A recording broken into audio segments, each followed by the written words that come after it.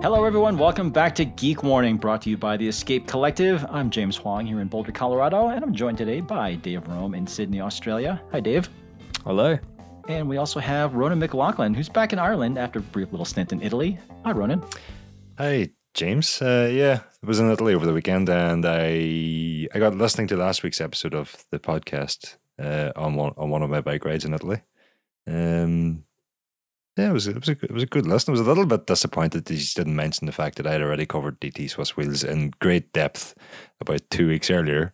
Um, I just happened to be talking about the wrong the wrong wheels. Um, but otherwise, it was a great listen there.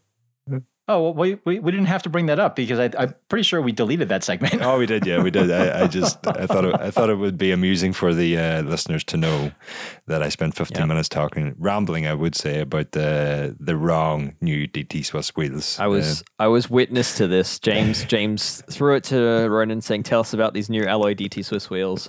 Ronan then went on to talk all about a new gravel alloy wheel, while James was thinking, "No, they're not gravel; they're aero road."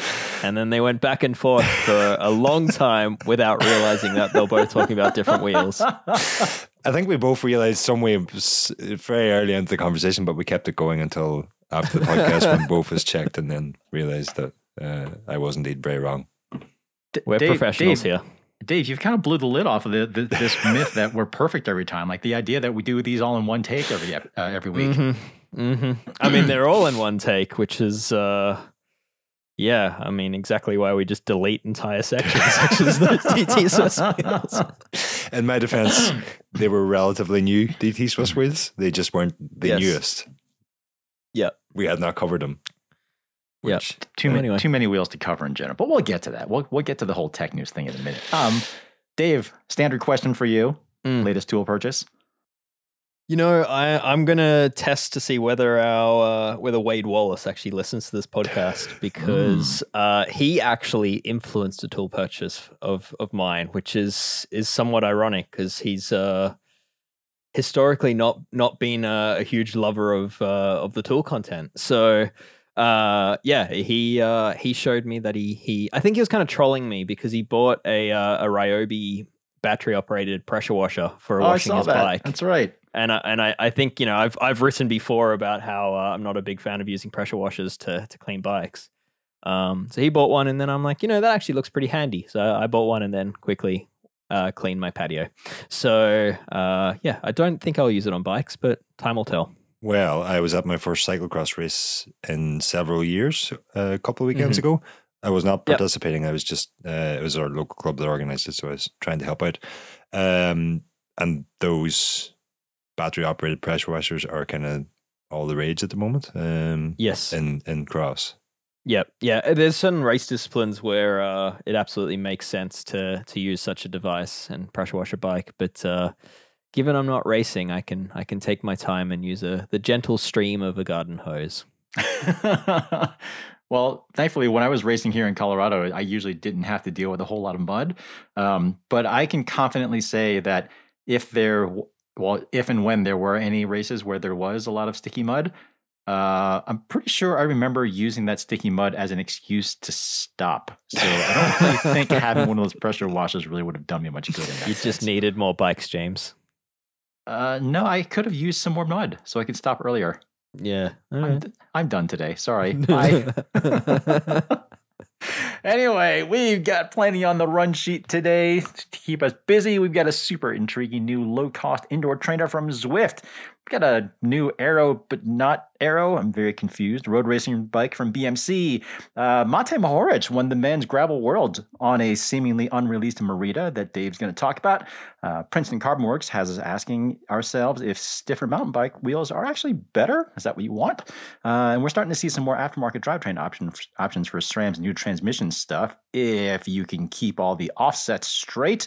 Uh, and then speaking of cranks, Shimano's crank recall situation might also be getting a little uglier, at least in the UK. We've got some thoughts on how we might be covering tech news a little differently moving forward.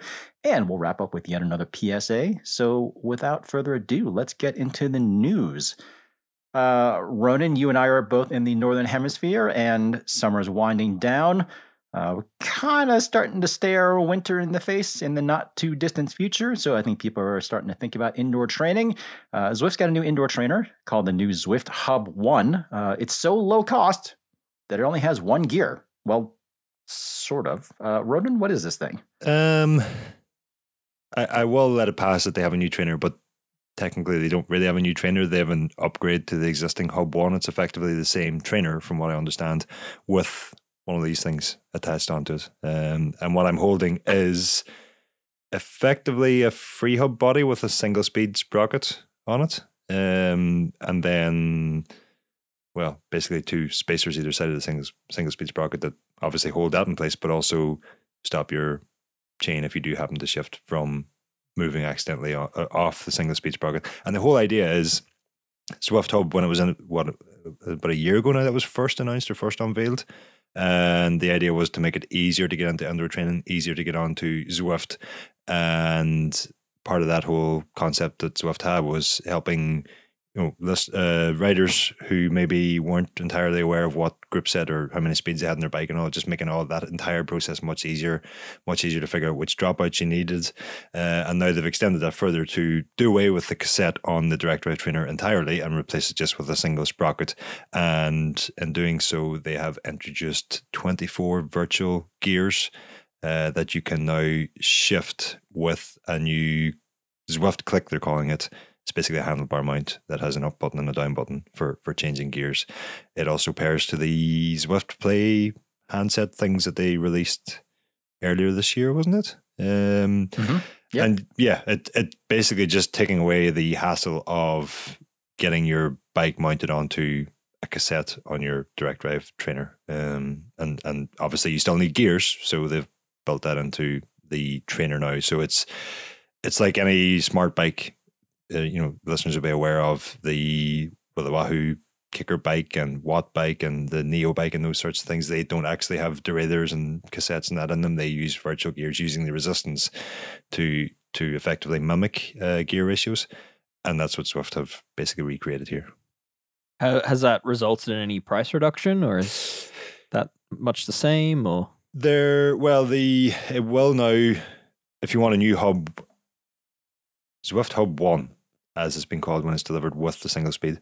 Uh, that is priced at, I believe, 600 euro, $600 or 550 pounds. Um, whereas if you want to buy this single speed upgrade for your existing Zwift hub, that's priced at 80 euro, 80 pound, $80, uh, if I've got those numbers right off the top of my head.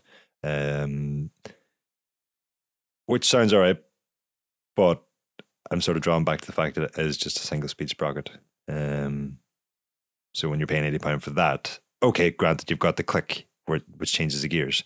Um, but um, I think what's most interesting about this is that looking at it in in future, I don't see any reason why this couldn't be expanded onto all their trainers beyond the Zwift Zwift Hub and onto likes of Wahoo's or Tacx's or whoever else might allow. It's basically just a firmware restriction at the moment. There's no reason I could not attach this what I've got in my hand to any other direct drive trainer. You know, at first I was thinking that it. Well, I like the idea of this. First of all, I, mean, I like the idea that Zwift is lowering the barrier to getting people to be able to ride on Zwift indoors or just to be able to ride year round, sort of thing in general.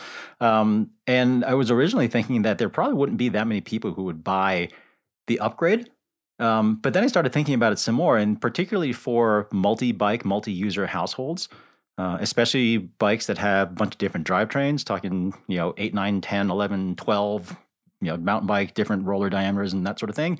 Um, this sort of thing makes a lot of sense if it lets all of those bikes use the same trainer without a whole lot of change. Um, that, it seems pretty smart, actually.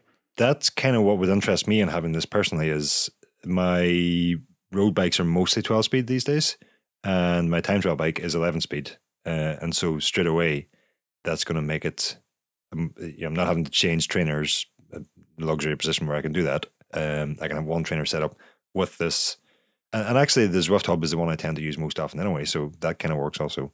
Um, but that that's the benefit I see in it. Obviously, the putting a bike on and off a trainer shouldn't really be a problem for a tech rider. Um, it's not but uh, just the the ease of use would maybe be a, a gain.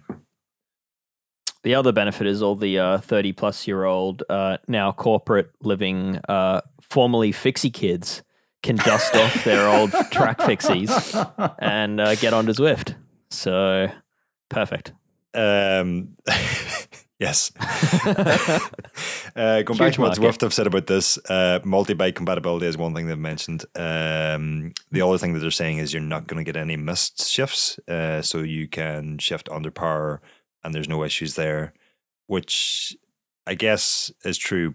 But my problem, not my problem, I haven't tried this yet. It, it was only, it was here when I arrived home yesterday, so I haven't had a chance to to try it yet. Um, the difficulty I have with all these things is the extra device that you're having to have on your handlebars to shift. It's like the as much as I enjoy the Zwift Play handset things that came out earlier this year, they are you have to reach away from your levers. Um, you know, and, and I don't know what the answer to that other than uh, is other than you know a dedicated indoor shifter, which then is obviously no use if you want to bring your bike indoors and outdoors. Um, the indoor bikes or smart bikes that I've used haven't really solved it either. Um, but until we've got like some sort of solution from the group set manufacturers and Zwift combined that you can just you know unhook your rear to rear and connect Bluetooth to your shifters. Um, these extra devices on the handlebars don't really do it for me. It's like if you're if you're Mm. racing or you're doing an interval or something like that, the last thing you want to do is have to move your hand away from your levers to shift Yeah. gear somewhere else. I I actually think a lot of the people likely to buy this are probably just going to use ergo mode, right? Like not use a shifter, right? A lot of those people would probably just keep it in one gear and just let the let Zwift vary your power for you. You know, if you do a training session or something like that in ergo mode. Am I am I wrong on that, or is is that Uh, kind of the idea here? I, I kind of feel like most of the people who are going to be using Zwift are basically just going to be sort of like sort of just hopping into one of the worlds and just kind of like randomly pedaling around. That seems to be how most people, I shouldn't say most, but that seems to be how the majority of people use Zwift. I mean, there certainly are a lot of people who are using uh, like dedicated training programs and racing and stuff like that. Um, but I think for the target user for this sort of thing, you know, they're not going to be most likely the the serious super user. they're not going to be the ones who are you know most concerned about accurate wattage uh, readings and that sort of thing. And I don't know how much they're really going to be bothered by an extra button because it really does seem like most people these these days, just kind of like general population, I would say, um, they're probably used to just having buttons and remotes and stuff all over the place. Hmm. The uh, I was just checking my emails. I actually had a reply from from Zwift just well earlier today. I've only just seen it now. Um, and interestingly, they've mentioned the torque setting for putting this back together. After I took it apart earlier today and didn't use a torque wrench to put it back together, so Uh uh, oh. that might be interesting. Uh, um, no, it's 20 newton meters, so I'm pretty sure that's fine. Uh, the other interesting thing is uh, one of the questions I asked Zwift was given that the click is compatible with the play handset and the virtual gears are a virtual thing, so it's it's a you know it's a game and trainer combination. Uh, if you've already got the trainer, you've already got the the game. Is there any reason Zwifters couldn't just do without the single speed and use virtual shifting with their play controllers at the moment. Um, and seemingly there isn't any reason that you couldn't do that. You could just use your Zwift Play uh, handset at, to do shifting when they release it later this week. I mean, you you could, but the the way this it probably goes back. It's worth just mentioning how this works is that the trainer will actually work out what gear ratio you're currently using, using your cadence and the flywheel speed. And then it creates 24 gears from that. That should be the same across different, it should be feel similar across different bikes, regardless of what size of front chainring you're using. Um, so if you were to use a standard cassette and derailleur and you were shifting mid game and then you're using virtual shifting at the same time, that would probably mess with it. it. It would confuse the entire system. So your shifting wouldn't be all that nice, I think so. Or, or this could finally be a way that someone is able to get their like hundred bazillion speed drivetrain that they've always dreamt of, but couldn't really actually replicate physically. You can just keep your your two x twelve drivetrain, but now run it with twenty four extra virtual gears. This is um, virtual CVT. Done. continually Done. variable transmission, continually confusing your Zwift hub by changing Oh, gears man. virtually and reality.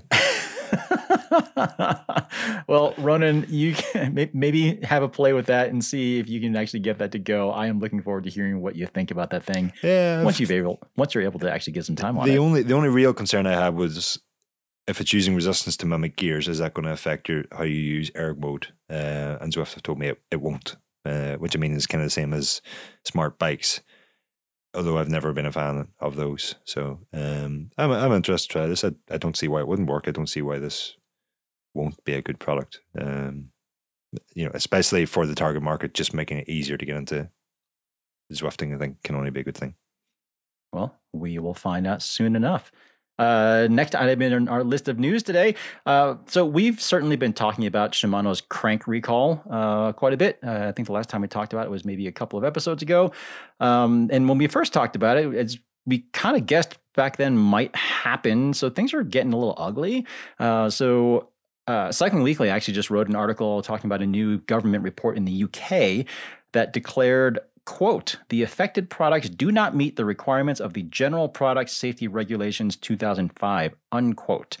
Um, that in and of itself is not entirely surprising given that these things seem to be coming apart uh, with some relative regularity. Uh, apparently, however, this opens up the company to liability lawsuits now because uh, Shimano's planned course of action isn't actually protecting all the affected customers the way it's supposed to, since not every crankset's being replaced. Um, I have to think this is just kind of the opening salvo in what is sure to be a flood of liability and lawsuit issues coming Shimano's way. There seems to be some happening in the US as well, calls to class actions and all sorts of uh, big bad things that, uh, as a consumer, I think, unfortunately, you know, we'll probably end up wearing those costs for years to come. Yeah, so um, so uh, our own Joe Lindsey, he's working on a pretty detailed article looking at some of the more nuanced uh, issues surrounding this recall. Uh, there's a whole bunch, though. I mean, there's things down to like eroded resale value, even for cranks that aren't failing. You got kind of questionable safety, even if the cranks are deemed to have passed the inspection process. Um, you know, you've got questions about shop liability since they're the ones who are Mhm. actually doing the inspecting Mhm. um, all sorts of stuff that is happening here. Like I, I certainly have several cranks that would fall under that recall, but they're not physically separating. But I don't know if I mean, I guess I'm still comfortable riding them, but I don't think I would ever. th- That sort of thing is certainly still going to be in the back of the back of my mind. James, if you were would would you go out tomorrow and do if you had a fifteen hundred watt sprint, would you go out tomorrow and do one comfortably Uh, and confidently? that's a, that's a big hypothetical, given the 1500 watt measurement. Um, no, but uh, you know, I don't I don't know if I would. No, because the thing is the the the, the problem is confidence, Hmm. right? I mean, even if even if I knew, even if Shimano could absolutely certify without doubt that a crank that is not physically coming apart but still falls under the recall is safe and can withstand that kind of effort. The problem is the confidence in the product is so heavily eroded at this point that I don't know if I'd want to. mhm. I I get that. I, I see it from a different point of view, which is I guess I've seen firsthand a, a- a handful of these cranks now and how they fail in the failure mode, and I kind of I still have complete confidence to ride a product that passes the visual inspection. I just my issue with it is, is like at some point that crank with enough use and enough exposure to to salt or to water probably won't pass that visual inspection and it's you know how do you know when that crank hits that point And if here's a hypothetical question for you, then Dave, just you know, in the, in the interest of balance, you get a question each. Uh, if you were doing that visual inspection, and the customer was reporting a random noise from their bike that they couldn't Yeah. pinpoint, and you couldn't pinpoint that noise, uh, and I'm actually speaking Yeah. about a, a, a an actual scenario that I know of happening recently. Would you then be confident in saying, "Well, it's passed the visual test. I, I, you know, I can't." i mean it if you'd done everything else at that point and you really can't figure out where the noise is coming from, I mean, at that point, I'd probably just be saying, let's send the crank back to Shimano Hmm. and have them inspect it and, you know, completely rule out that this is not the issue. Hmm. Right. But again, that kind of boils down to this issue of confidence, right? Like that even it it, it just feels like I don't know, like I, I think for a lot of people that would just kind of mess with you mess with their heads, right? Yeah, uh, but I, I honestly, I believe that people losing confidence in this product is a lack of understanding as to how these are failing. It's not, it's not like a, a straight up structural flaw in the crank. It's, it's really like from what I've seen, it's corrosion that that causes these structural issues. Uh, so if your crank looks perfectly mint, it's in theory, it's still as good as new. Uh, whereas the ones that I've seen fail, like really do tend to look pretty nasty and are pretty obviously failing through, you know, a lot of corrosion and the bond the bond seam is very obviously open and splayed apart. Um, so yeah, I don't, I don't know. Like I think people saying like, yeah, I don't know. I, I'm kind of of the mind that I'm happy to keep riding these cranks as long as they look great. The problem is, is that there's millions of cranks out there being ridden by people that don't know what to look for. And Exactly. that's the Yep. worrying part. Yeah, yeah. Um, so anyway, uh, like I said, I think this is going to continue to get ugly before uglier before it gets better. Mm. Um, we're going to continue to keep an eye on all this, but um, yeah, maybe not going super smoothly. Um, moving on to something that did go a little more smoothly, I think. Hmm. Uh, so, Ron- Ronan, as we already mentioned, you were gone for a few days last week.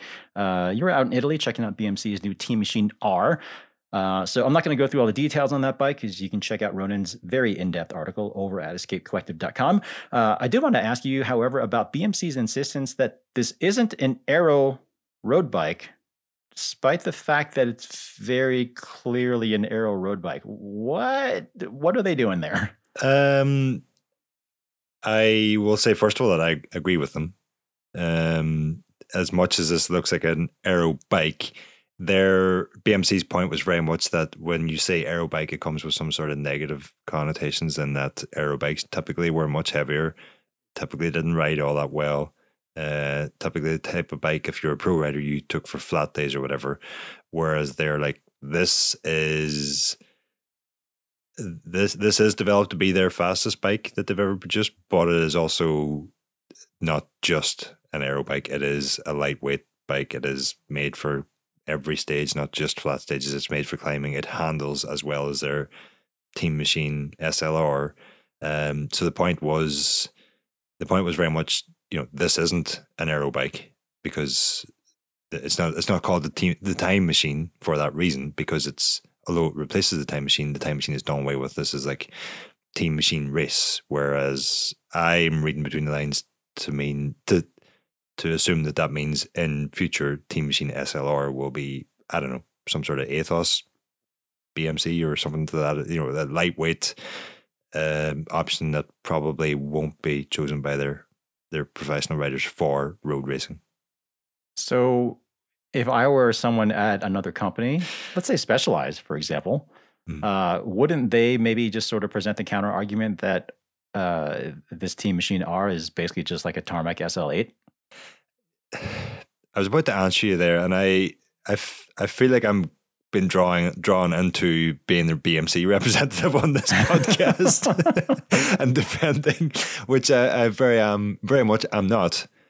Uh, but I was very much enjoying riding that bike, and part of what I was enjoying most about that bike was that quite often whenever I'm looking for a bike, obviously being a bit of a performance nerd, I you know, uh, low low weight is important to me, but also aerodynamics are important to me. And I think we I've mentioned it briefly on on your mind recently was like all these do it all all rounder light aero bikes that we've seen recently to me are heavy aero bikes. They're or sorry, heavy climbing bikes. Um in that they're not super low weight because they they have to meet the 6.8 UCI limit anyway.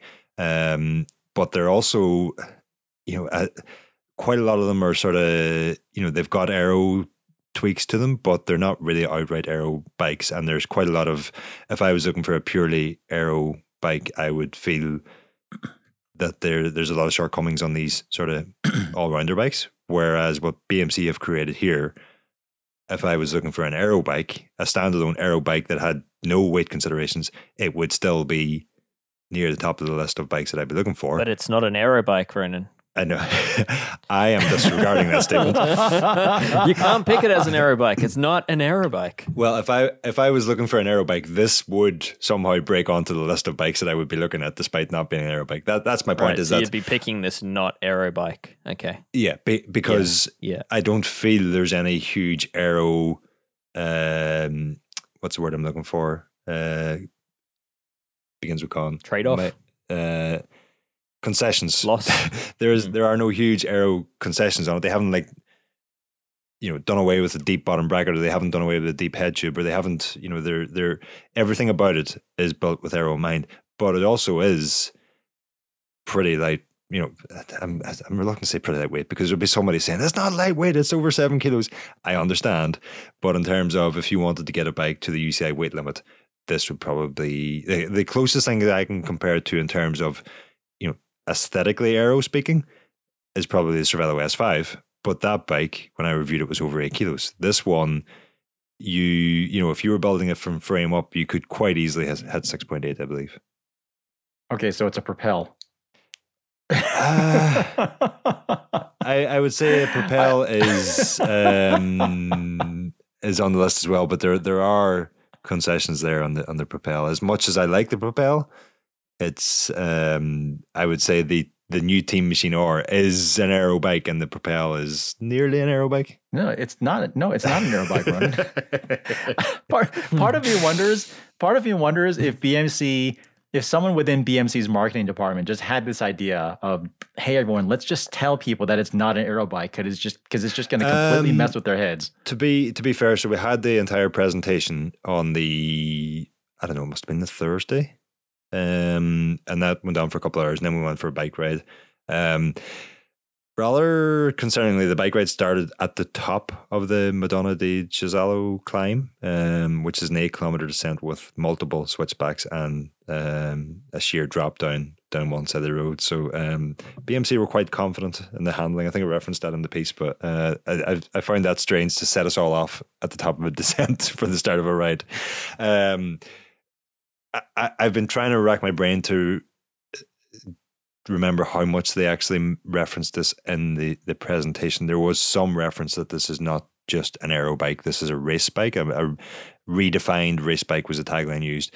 It was more so 24 hours later when I was being a right pain in the rear end and asking for interviews with pretty much every BMC representative there.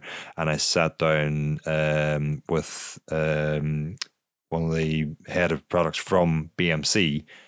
And I started off by mentioning the new aero bike. And he's like, whoa, whoa, whoa, whoa, whoa. This is not an aero Mhm. bike.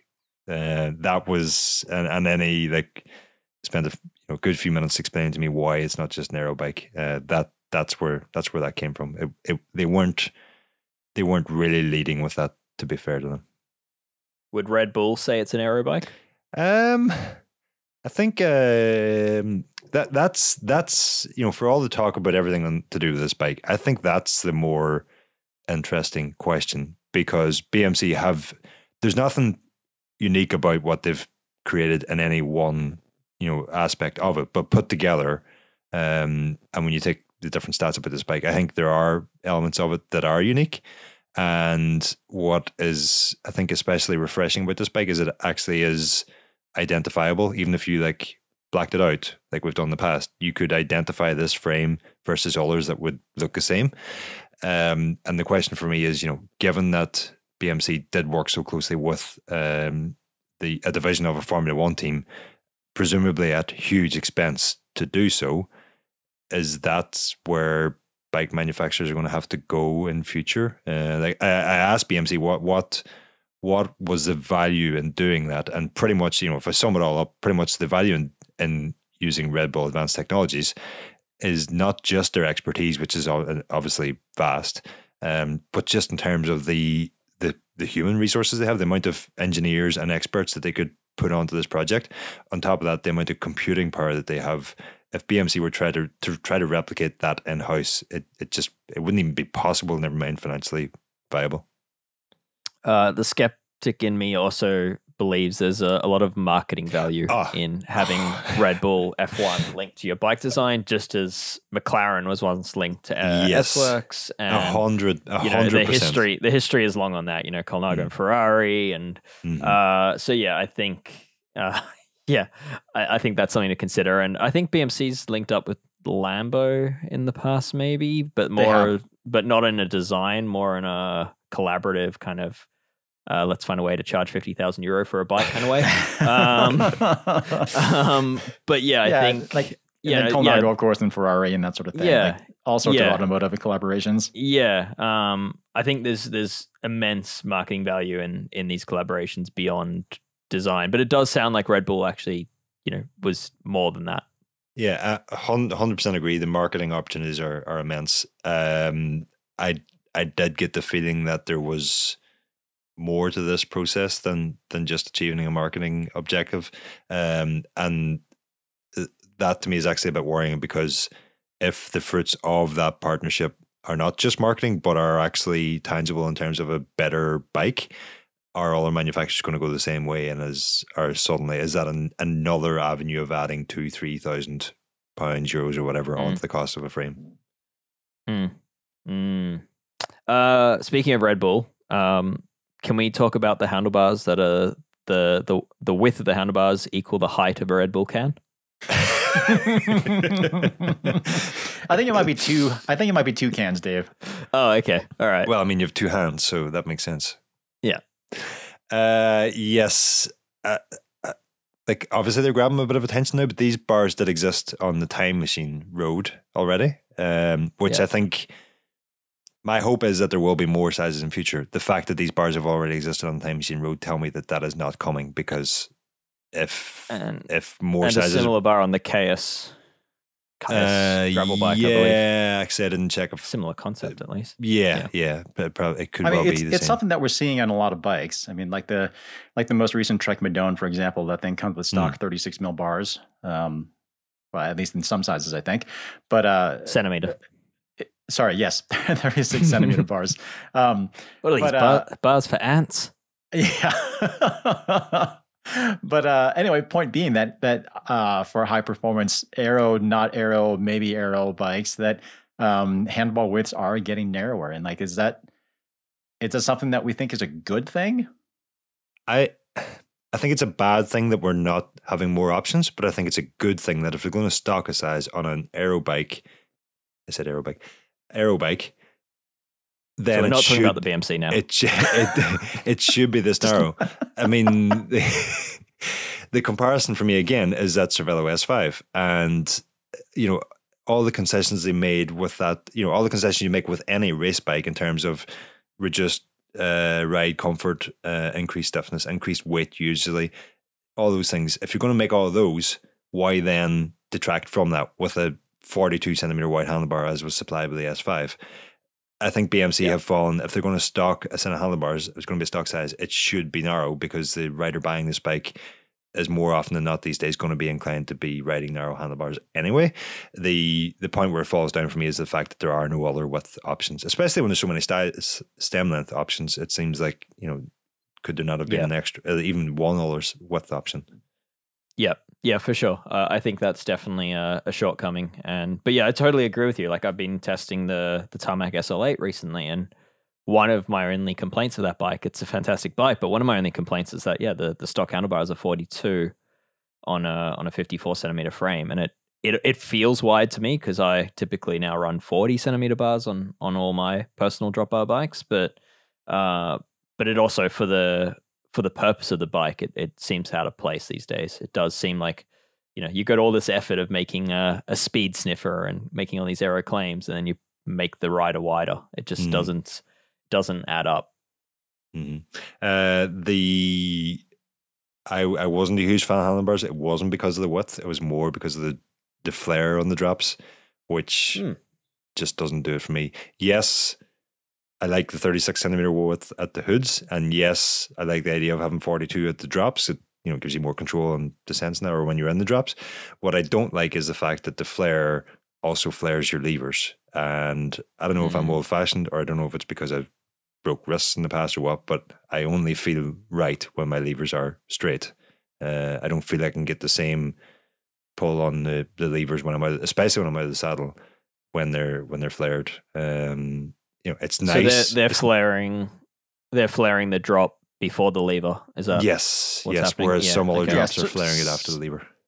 Yeah, sort of in more traditional style. Mhm. Um, yeah, Ronan, I definitely hear where you're coming from because I feel like I have that issue a lot of times too. I guess especially for more gravel oriented bars where the flare is more pronounced. Um, Mhm. But uh, I guess we are seeing somewhat more pronounced flares on some road bikes now, just because the width at the hoods is so narrow.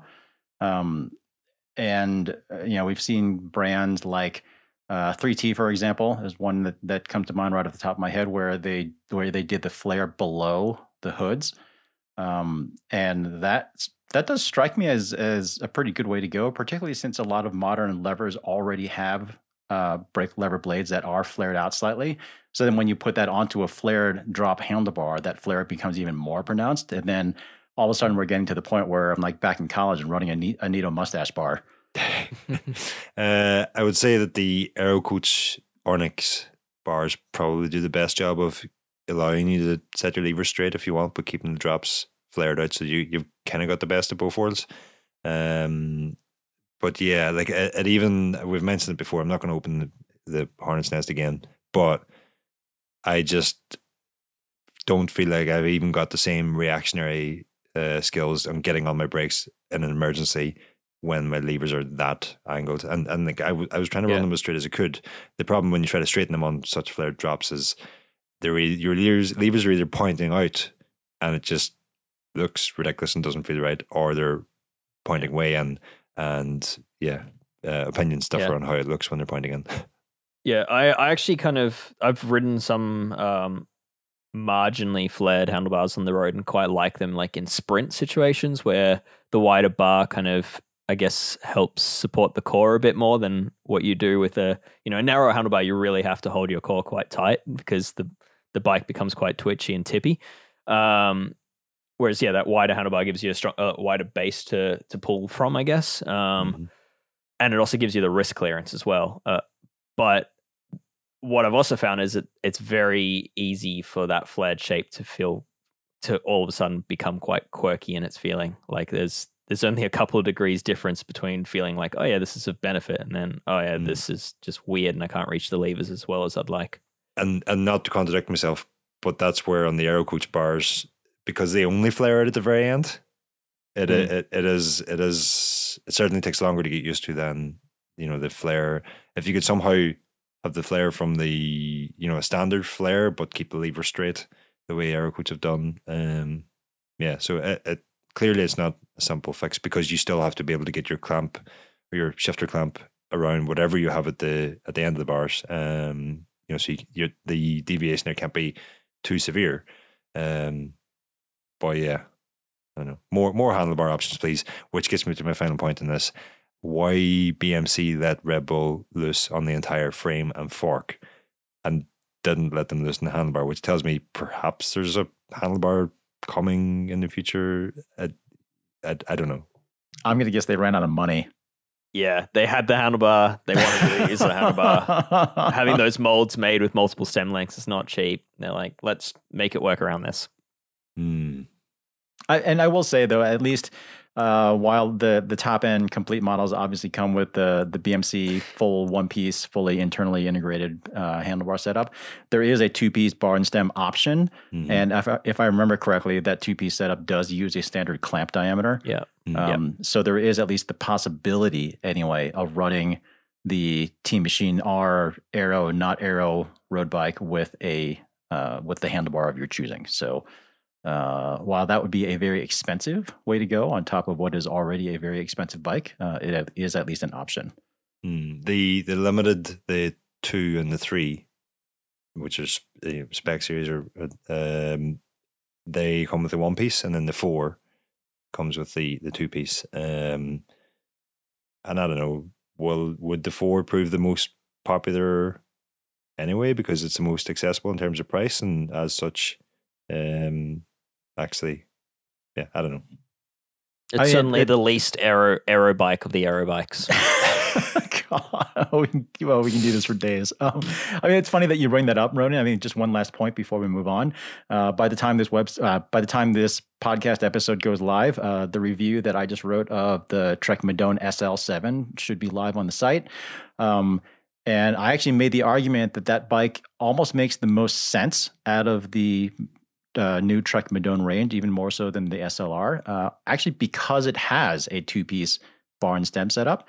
Uh, and, and I was making the argument that uh, if you are after an aero bike, uh, it's far more important to. I mean, yes, you want to have a bike that isn't is in and of itself aerodynamic, um, but it's far more important to be able to get a position where you, the rider, is also aerodynamic. More important, I'd say, uh, and running a two piece setup like that that gives you a little bit more positioning flexibility and a little bit more choice in handlebar setup uh, might actually make more sense and might actually be the higher performance way to go, even though it's a lower cost option. totally agree. What is it? So What is it Dan Bigham says? Get into the most aero position possible and then train yourself to sustain it. or something to that effect. yeah, there you The, go. bo- I mean, it's, the body will adapt. I mean, it's wise words from someone who should know, right? Uh, it might be wide. I'm not sure they're applicable to uh, the entire audience. Um, sure, fair. Us, us mere mortals. He's de- he's definitely got a skill for being able to sustain and adapt to positions.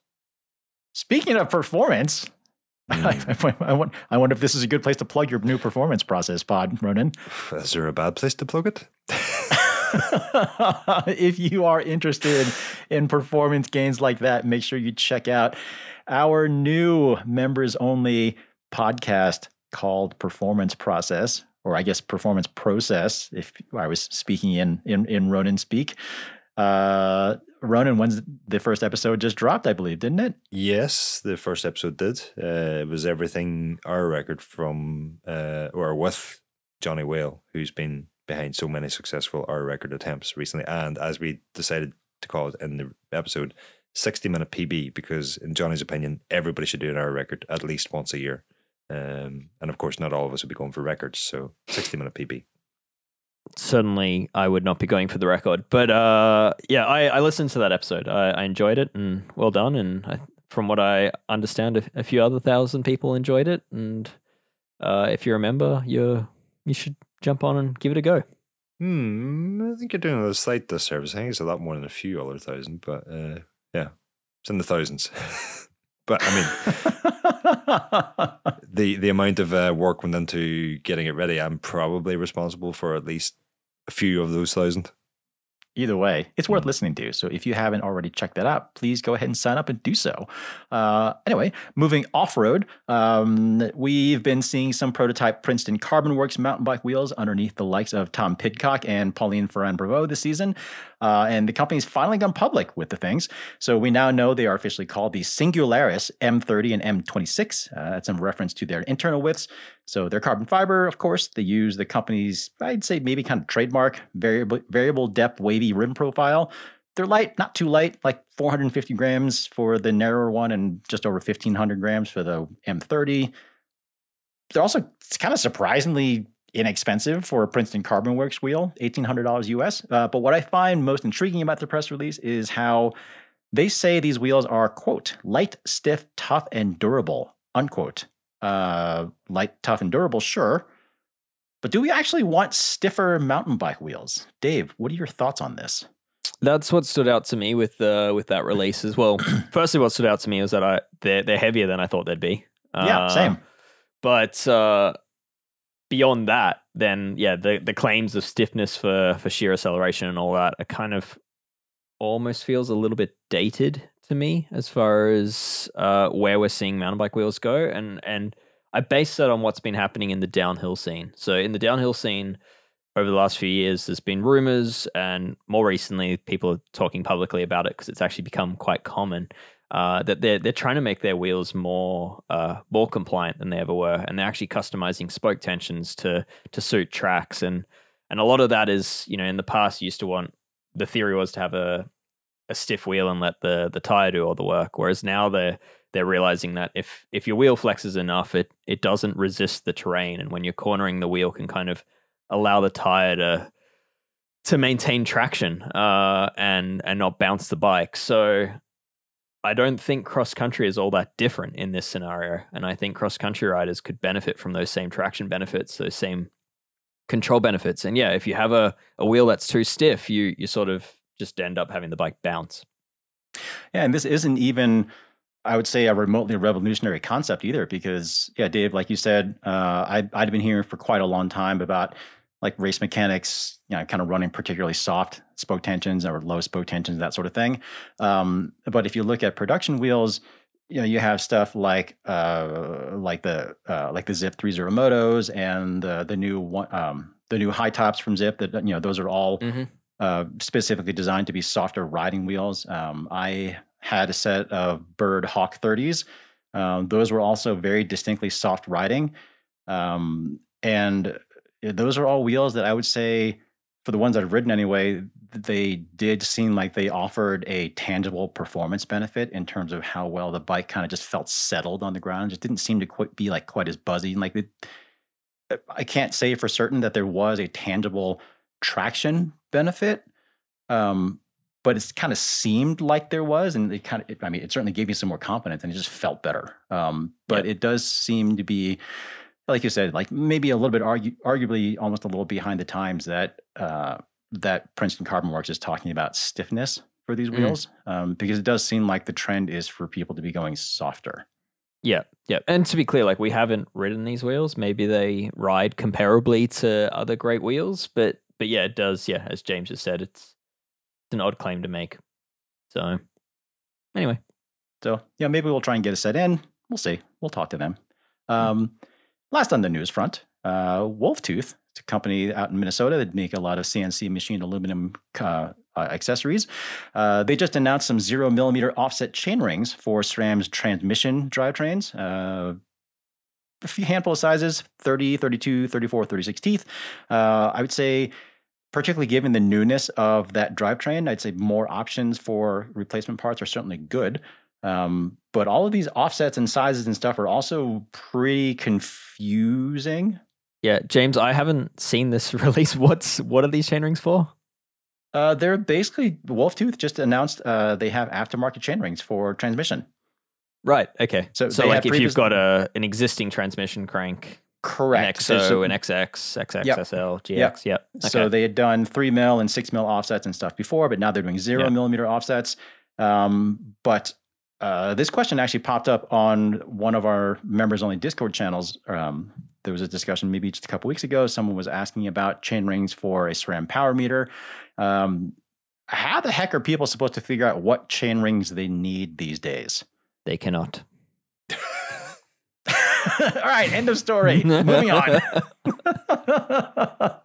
I mean, uh, props to yeah. I mean, to SRAM for forcing people to dr- uh, join private communities such as Escape Collective, so you can ask questions like these in a in a safe place and, and actually get very good answers. Uh, yeah, it's it's incredibly confusing out there, and uh, I think there's even a lot of mechanics who who don't even know the answers to these things. But but yeah, fundamentally, it's if you really have no idea, then that's probably the time that you you go visit your local shop and and have them order the right thing for you. Yeah, because you not only have different mounting patterns, but you've got different offsets now, different tooth compatibilities. Uh, it's it's just all over the place. Oval, round, so on and so forth. Mhm. It it's a mess. And then you've got you know boost and super boost, and it's it's it's un, it's unpleasant. So, uh, Wolftooth, I would say, in addition to announcing these new chain rings, they do at least have a very handy tech guide to help people figure out what chain rings they need. Uh, I would like to hope that every company offering aftermarket chain rings for these sorts of things do that, but I know that they don't. Mhm. Um, but anyway, if you'd like a little bit of a little kind of a little bit more detail on how all this stuff works in general, it's even if you're not in the market for chain rings, I'd advise going over to Wolftooth's website and just kind of checking that article and just kind of doing a little self education there. Just for fun to read about different offsets and bolt patterns of cranks. Yeah, yeah, kind of like how every now and then I just kind of crack open my old grad school textbooks and just you know do some little casual reading, you know, Hmm. stuff like that. Anyway, What a Friday night. for Thursday night. Are you kidding? Why wait until the weekend? uh, all right, one last thing to add to the news. Gravel World Championships just wrapped up in Italy, and uh, they're pretty good races from what we could see, although we unfortunately couldn't watch the women's race because that wasn't televised. Uh, the men's race uh, certainly was a good race, but one thing that was interesting from the tech perspective was that winner Matej Mohorič seemed to be on a new Merida that we hadn't seen before. Dave, what can you tell us about this thing? Yeah, so Bike Radar got uh, got a piece have a piece up on this, and uh, yeah, it's a new Merida Silex, which is unreleased, but very clearly what it is, and that there's a, a new kind of all rounder gravel bike coming from the Taiwanese bike company, and uh, yeah, looks like a, a, carbon frame with a few distinctive new uh, frame profiles and all that. It doesn't look to have anything too wild as far as design goes, and uh, I guess that's to be expected of Merida. They don't tend to do anything too crazy, uh, but yeah, it. I'm sure it's going to be a, a good value bike. But to me, what stood out was that uh, the company not so long ago, we're talking probably just a, a few months ago, uh, released the Scultura Endurance GR for for gravel. It was kind of pitched as like this sporty gravel bike. Uh, it's basically like a gravel spec of their Scultura Endurance uh, carbon road bike. Uh, and yeah, you would have probably assumed that uh, Mohorič would have been on that rather than a an unreleased, arguably more bike packy kind of bike. Uh, so I thought that was kind of interesting, and I think it probably boils down to the geometry of that Scultura Endurance, which is very endurancey, very tall stack, uh, and perhaps, yeah, tells me that maybe the Silex isn't as tall. I, maybe yeah, that sort of endurance stack generally is not not super compatible with pro racers like that.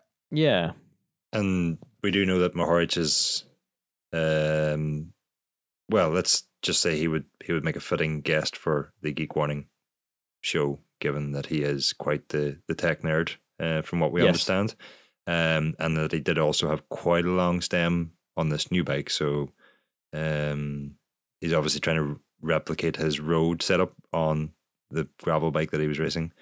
Um, yeah, so sizing down and mm, yeah, yeah. Th- well, maybe not even sizing down. I just thought the bike probably has shorter reach. Um, you know, mm. I know it's something that I would have done in the past is try to replicate my road position on a gravel bike. And even in the right size, you're having to go for a 13 stem or whatever. Uh, anyway, the point I was going to get to was that um, the most interesting thing about this Silex for me was just how good it looks compared to the existing model, which looked just all out of proportions for some reason. Yep. Yep. Yeah, the eh, Scultura Endurance is a bike uh, I reviewed it the the last place, and I don't know the it's got such an open front triangle. It kind of looks a bit like a farm gate. So it's uh, it's not a bad bike by any means, and and at least where it's available, and uh, like certainly in Australia, it's it's fantastic value for money. But but yeah, it wasn't uh, super aesthetically pleasing. I, I thought the existing Silex looked like something heavy had fallen on it, and it had like squatted down. Um, mm. don't know. Yeah. Um, yeah, new Silex looks good, but uh, James, wasn't there also a new bike in the women's category?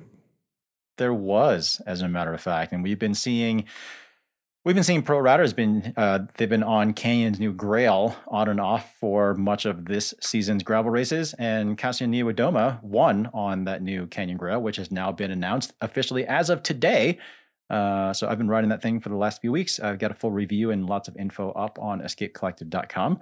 Uh, so definitely go ahead over there and check it out. But that is an interesting bike because I guess to just a very, very quick overview, whereas the existing Grizl or whereas the existing Grail and Grizl were pretty close in terms of overlap, uh, Canyon finally pulled those two lines apart, and the Grail is now supposedly much more intended to be for gravel racing. It's like it's all aero and it's kind of stretched out for more stable handling, and it's interesting.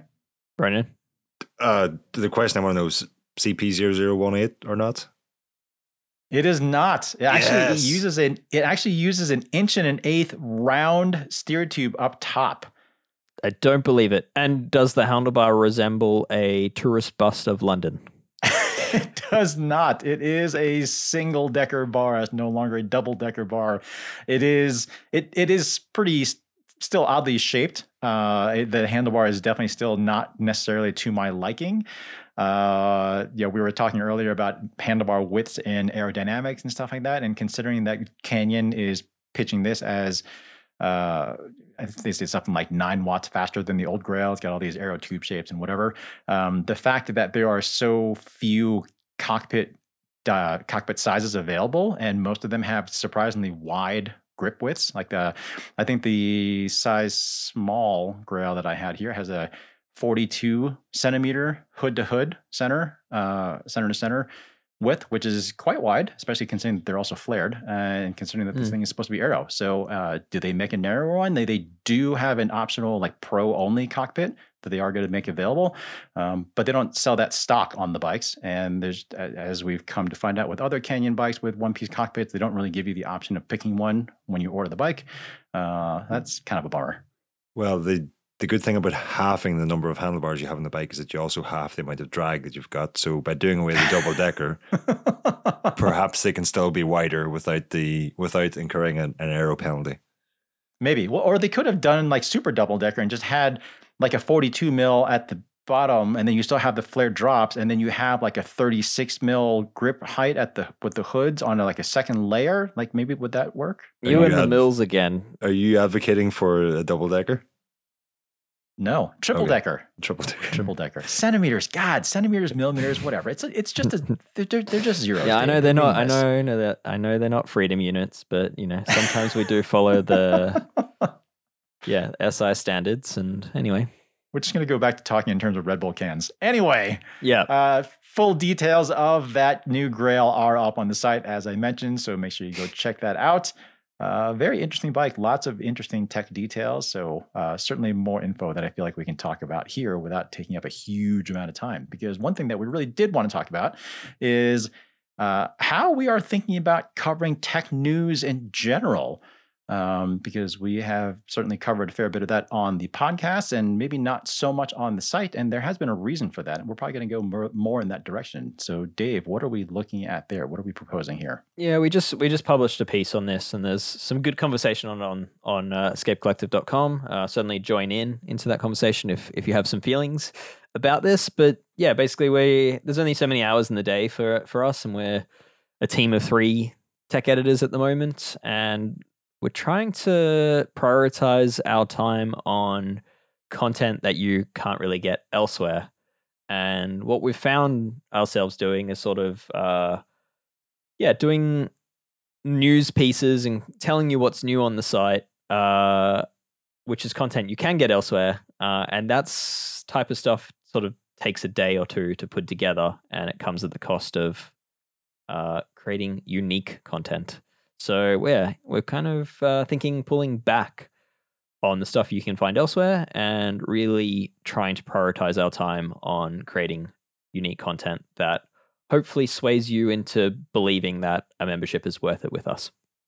Right. Because ultimately, what I think we've decided and what we generally agreed on as far as what our members expect from us is that you all want to know what we actually think of this stuff. You don't want you don't really want just rehashed press releases and stuff like that because the fact of the matter is you can get that pretty much anywhere.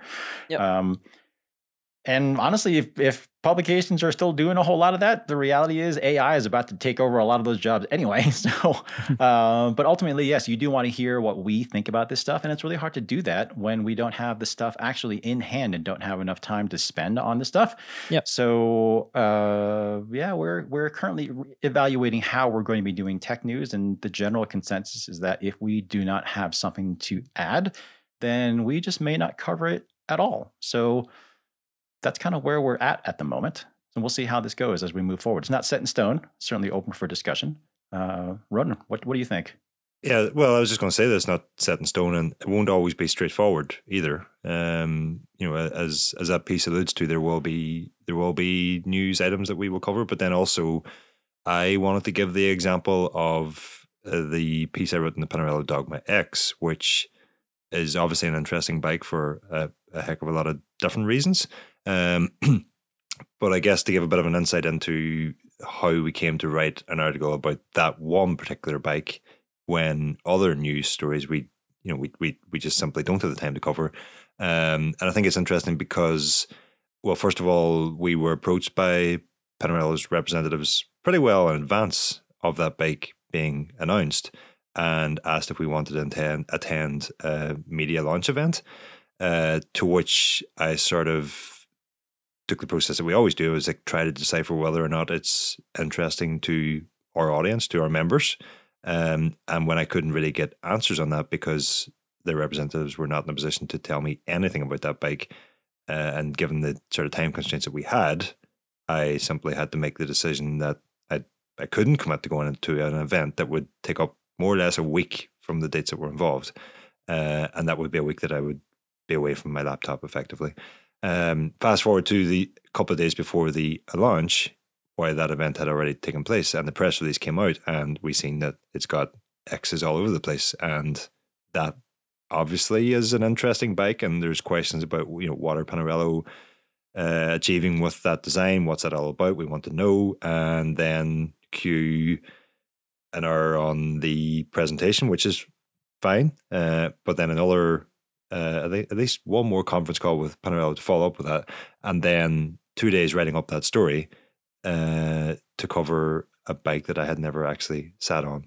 Um, and, and, you know, long story short, now Pinarello are sending a test bike for long term review. I think I think the so it'll be another God knows how many rides and how many hours writing up the actual long term review.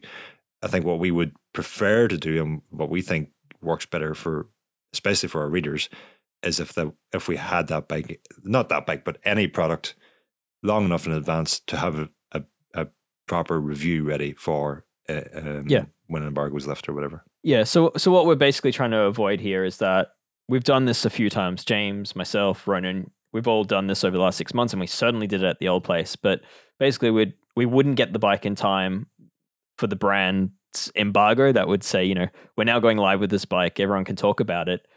And so we felt pressured you know, because our readers come to us and they want to hear what's news. So, uh, what's new? And so we felt kind of this pressure to to tell you what's new, and but we didn't have the product, so we'd write up the piece saying like, "This is what you should expect. These are the features. This is sort of our concerns. This is kind of what we think about it, but we haven't actually used it yet, and you can expect a full review in future." And then that full review would take even more time. So what we're trying to avoid is that overlap and that duplication of our resources. So basically, what we're asking for is for brands to to understand where we're coming from on this, and that we're not going to to duplicate our our time onto a, a single one product. You know, if we don't have it in our hands, we're probably not going to write about it. We're going to wait until we have it, and then we can actually put a conclusion on that written piece and and be done with it.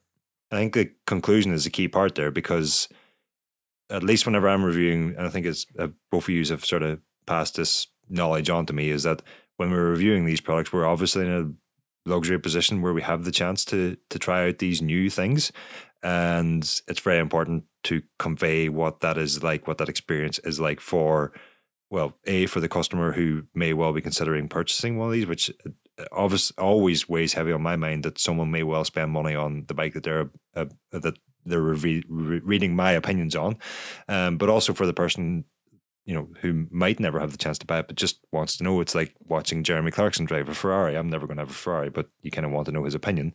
Well, maybe not Jeremy's, but you get the point. Um,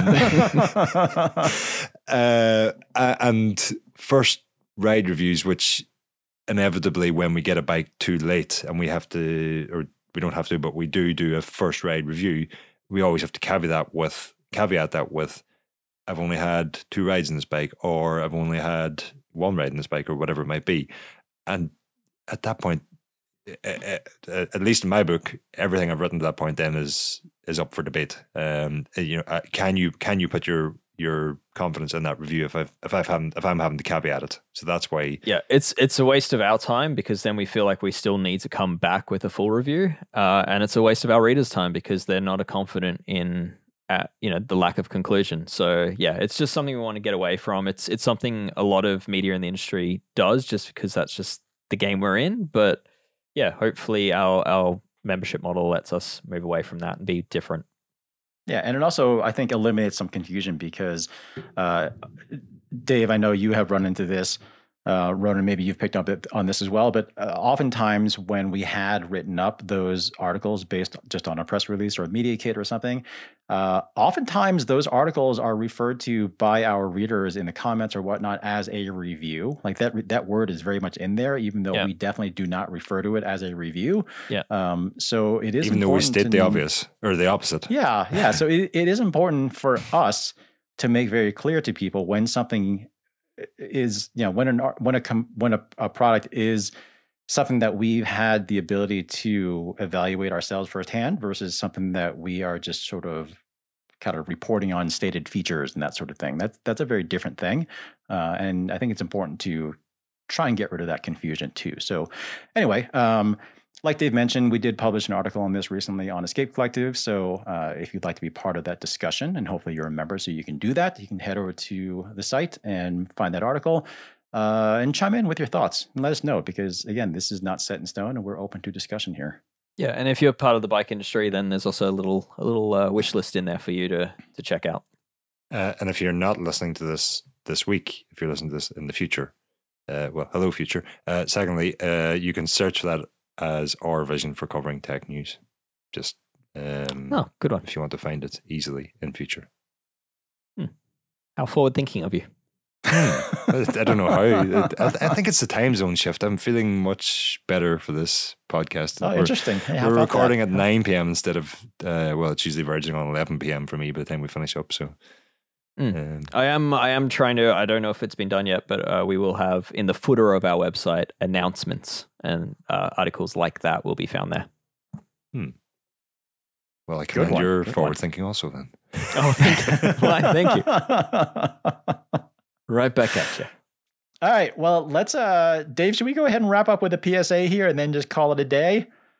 I, I have a short PSA based on Oh. a, based on a story that uh, was conveyed to me over the weekend, uh, and that PSA is: if you're sitting in an airport waiting to board a flight, listening to this podcast, please momentarily remove your headphones and check that your flight is not already boarding, because we would not want someone to be deeply engrossed in their work on their on their laptop and uh, with us in their ears, meaning that they may or may not have missed announcements calling them and final calling them for a flight that was leaving that was taking them on to a connecting flight. Uh, which would mean that if you miss the first flight, you miss both flights. Um, so yeah, if you're listening to this in an airport, please uh, keep an eye on And- on your boarding and- gate. And if you're that person, please leave us a review saying this podcast is so good it's worth missing my family over. Yeah, Oh man! True well, the, the the actual PSA I wanted to mention, uh, as I already said, Ronan and I and everyone else in the northern hemisphere, we are about to head into autumn and winter here, uh, which for a lot of people is going to mean riding in inclement weather.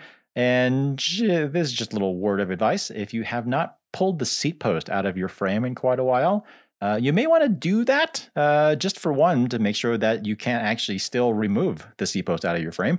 Uh, but two, also maybe just to kind of clean that out and apply grease or carbon paste as needed, and just kind of make sure that area is nice and clean, so that uh, as you're heading into riding in ugly weather, that that seat post doesn't get seized in there over the winter. to add to that, um, often I'd say when people do do that, they ignore the seat clamp, uh, and that the seat clamp, like regardless of whether it's kind of a wedge style that's hidden in the frame or it's an external clamp, tends to get pretty manky, like get gets covered in all sorts of grit and, and crud and even sweat. I would say whatever that seat clamp is, uh, probably remove it, clean it, grease the the sliding surfaces of it, or grease the bolt and and reassemble it and put it back in in place. Because uh, not doing that will greatly affect the the torque that you actually uh, are getting. Like it, it's going to uh, basically create a a reduced uh, clamping force for the torque figure that you're getting from it. Um, but yeah, also it'll just uh, make it all work nicely and prevent you from potentially having a stripped bolt in future as well. If uh, I'm thinking of specifically Pinarellos now, but uh, yeah, it's uh, yeah, there's and certainly BMCs. and BMCs. But yeah, there's certainly designs that you know th- those bolts will get pretty rusty and corroded, and then yeah, it doesn't take much to then strip the head of them. So keeping them nicely greased and clean is is good practice and makes perfect sense to do it while the seat post is out. I'm gonna have to disagree with you here, Dave. Oh no! What? do- Go on. Can't think of anything better for my time on the bike than a C's seat post, C's seat clamp, C's the cleats, C's the handlebar, C's everything that I, so that I'm not constantly adjusting and tweaking and tinkering with my bike front. so that might actually be a good thing in some cases. Yeah, jeez. I'm not sure I can. en- I, I'm not sure I can endorse that that Mm, that uh that position running. Ro- Ronan's basically saying skip the carbon paste, go straight to it, and uh, a spray adhesive glue. The yes. salt bath. Mm. Yeah. Um. Yeah. Okay. Well, each to their own, Ronan. each to their own. As as as Pinarello is contemplating sending that Dogma X to Ronan for a test. Hmm. Anyway, all right. Well, that'll do it for this week's episode of Geek Warning. As always, thanks so much for listening. Uh, as mentioned already, if you're not already a member, please do so because if you're not, well, you're going to miss out on a bunch of stuff that we have coming out, especially a whole bunch of members only paid Geek Warning podcasts. Uh, also, the ability to comment on articles and take a look at all of the content on the site. Um, if you are not a member, if you don't have any intention of signing up, okay, we can live with that. But at least head over to iTunes and leave us a rating and review uh, for Geek Warning because that is at least very helpful because it gets more people to find the show, which we like talking to more people. So, anyway, that is our ask for this week. So, that will do it, like I said, for this week's episode, and we will see you next week. Thanks. Cheers.